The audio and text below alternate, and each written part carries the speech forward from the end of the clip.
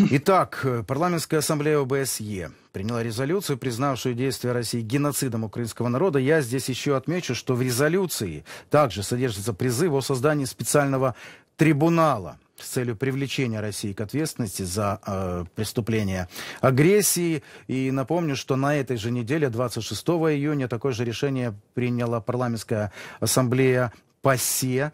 Э, мы год назад еще, знаете, так осторожно с нашими гостями, экспертами, правозащитниками говорили о э, преступлениях российской армии с элементами геноцида. Осторожно, потому что правозащитники говорили достаточно сложно находить, э, доказ, доказывать, находить доказательства подобных преступлений, устанавливать именно геноцидную составляющую. Ну а сейчас вот такое решение парламентской ассамблеи ОБСЕ. Э, как вы считаете, в чем его уникальность, в чем, я бы даже сказал, историчность?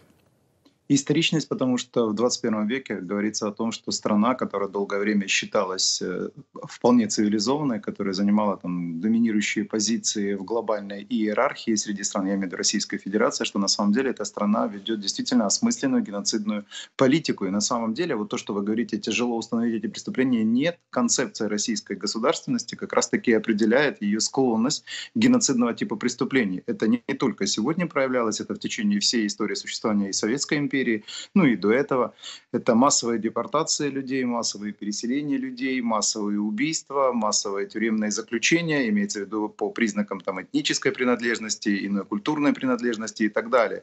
И Россия сейчас, еще раз, в 21 веке проявляет то же самое, что она делала в течение всей своей истории. То есть она преднамеренно приходит на территорию другой страны исключительно геноцидными э, целями. То есть, грубо говоря, зачистить территорию, захватить территорию, уничтожить э, все наследие, там, культурное, историческое, информационное наследие той, скажем так, э, государственности, которая там находилась, а потом заселить своими гражданами. Для этого она проводит соответствующую работу, какую массово пытает людей, депортирует и убивает.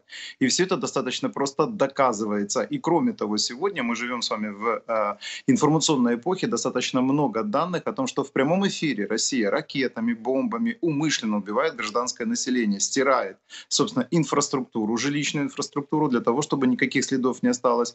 За, зачищает. У нас просто топонимы сегодня остаются, названия там Авдеевка, Бахмут и так далее, как населенных пунктов, и Мариуполь даже.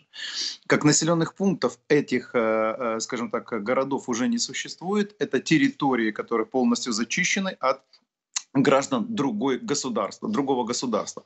Поэтому все это достаточно легко доказывается. Почему об этом, как вы говорите, с опаской говорили? Ну, потому что нужно было бы зафиксировать три вещи в отношении России. Первое, вы общаетесь с дикарями и с варварами. Вы я имею в виду, вы это а, глобальная политическая элита. Здесь вы сидите с ними за одними столах переговоров. Вы действительно рассчитываете от них на выполнение тех или иных договоренностей. Вы действительно их считаете цивилизованными, зная, вы знаете об этом, что они ведут только исключительно геноцидные войны. И, соответственно, вы должны себе были бы сказать, а как это так? Нас так интересует российский газ, что мы готовы закрывать глаза. И вот в данном случае вы говорите о решении Европейского суда по правам человека, о том, что с 2014 года проводились те или иные геноцидные практики, осуществлялись геноцидные практики на полуострове Крым. Особенно впечатляюще э, об этом могут рассказать крымские татары, многие из которых исчезли, растерзаны, убиты и так далее и тому подобное. И, соответственно, сейчас вы говорите, 10 лет мы это знали подсознательно, но теперь мы готовы к каким-то юридическим шагам. Так вот, мне хотелось бы, чтобы сейчас не просто была констатация на уровне, да, они являются страной, которая совершает там, преступления на тех или иных принципах, которые можно отнести в рамках международного гуманитарного права к геноцидным преступлениям, чтобы после этого последовали следующие шаги. Первое перестать говорить о том, что с Россией нужно договориться и пойти на компромиссы, учитывая обеспокоенность России. Нет, никаких компромиссов с Россией быть не может. Россия должна в полном объеме выплатить все, что касается э, итогов этой войны. Имеется в виду не в финансовом плане, а в юридическом, физическом и в любом другом плане. Второе, с Россией не надо продолжать э, э, сотрудничество, продолжать с ней работать, продолжать ее приглашать куда-то и так далее. Это настолько очевидно, да, то есть вы одновременно в рамках своих юридических э, процедур выносите выносите решение о том, что эти субъекты совершают конкретные, самые страшные преступления геноцидной природы, и в то же время говорите, так давайте мы под нейтральным э, флагом пригласим спортсмены же ведь не виноваты, ведь они не являются членами этого сообщества, то есть они не разделяют эти ценности, но это абсурдно звучит и так далее. И, наконец, третье. Безусловно, в такого типа войне, в масштабной войне сторона должна проиграть. Условно говоря, Российская Федерация должна проиграть силовым образом. А для этого нужно напрячься, это количество оружия и так далее и тому подобное. Ну и, наконец, последнее – но э, в отношении специального трибунала Украина инициировала это полтора года назад, даже чуть больше, о том, что в любом случае такого типа агрессии должны получать отдельную, автономную, надлежащую юридическую оценку. Это возможно провести абсолютно прямая норма закона,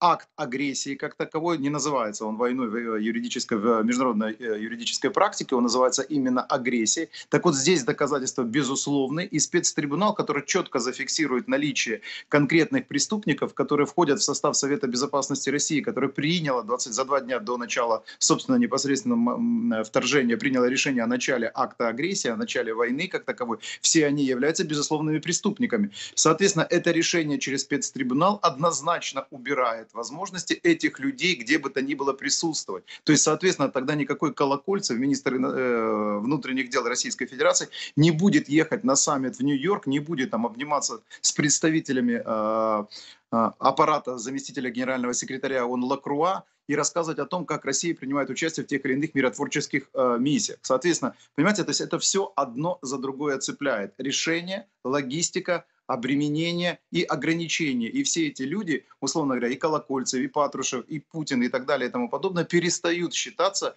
хоть какой-то степени легитимными, и, соответственно, это будет иметь чрезвычайно важное значение а, с точки зрения влияния на мировоззрение стран, относящихся к нейтральному а, поясу, к стран, которые не хотят там, до конца разбираться в этой войне и не хотят до конца принимать для себя решения. Если мы хотим жить в гарантированном мире, где есть определенные правила, Россия обязана проиграть.